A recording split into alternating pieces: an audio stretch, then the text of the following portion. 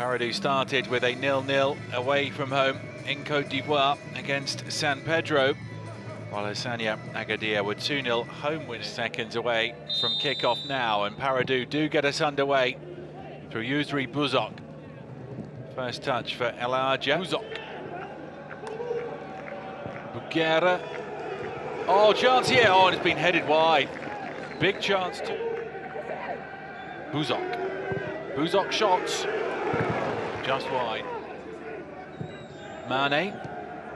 Oh, it bounces off the keeper and it's still in play. Oh,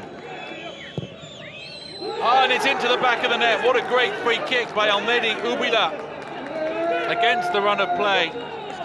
Hassania Agadir are in front. Knocked past his man by Ganawi. Nicely played this. They've got a penalty, Paradou. They have the perfect chance. Oh, and the keeper goes the right way and makes the save. Well read by Abdurrahman El Ouasli, who gets the congratulations from his... And it's hit by Siddiqui this time. It's on target. The Likes of Rami and Siddiqui. Ubila goes low. Oh, and it's very well played, and it's into the back of the net. That's a fantastic free kick routine. The captain, Rami, who people would have... Gem. Shoots. Ubila.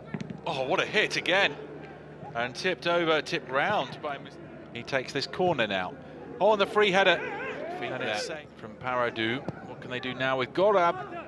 It's on target. Disappointment for Paradou as we've gone beyond the three additional minutes. The referee blows for full time. Paradou nil, Hassania Agadir two.